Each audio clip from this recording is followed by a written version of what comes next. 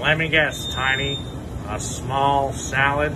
I'll take a double triple bossy deluxe on a raft, 4x4 animal style, extra shingles with a shimmy and a squeeze, light axle grease, make it cry, burn it, and let it swim.